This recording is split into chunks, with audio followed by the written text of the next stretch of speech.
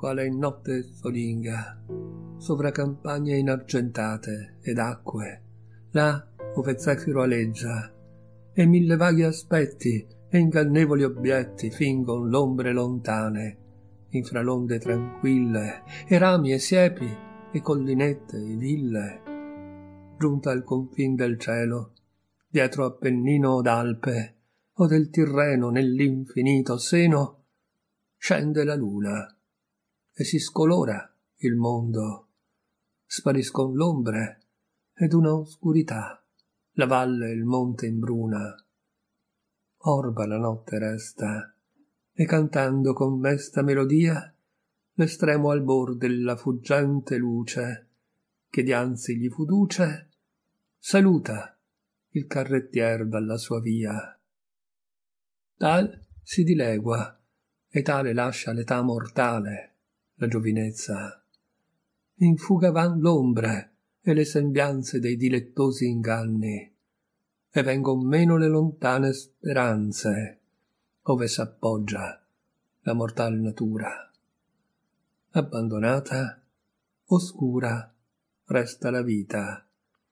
In lei porgendo il guardo, cerca il confuso viatore invano del cammin lungo che avanzar si sente, meta o ragione, e vede che a sé l'umana sede esso a lei veramente è fatto estrano.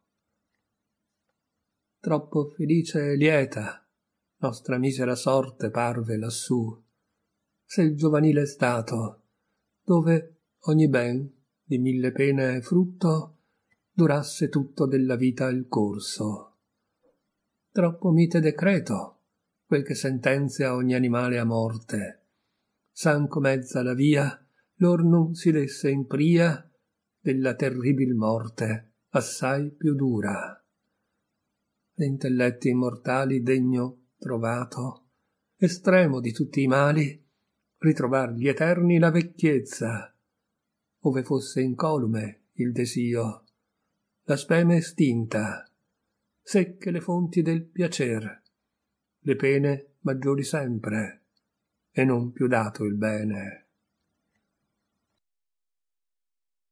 Voi, collinette e piagge, caduto lo splendor che all'Occidente inargentava della notte il velo, orfane ancor gran tempo non resterete, che dall'altra parte tosto vedrete il cielo imbiancar novamente e sorger l'alba, alla qual poscia, seguitando il sole e folgorando intorno con sue fiamme possenti, di lucidi torrenti, inonderà con voi gli eterei campi.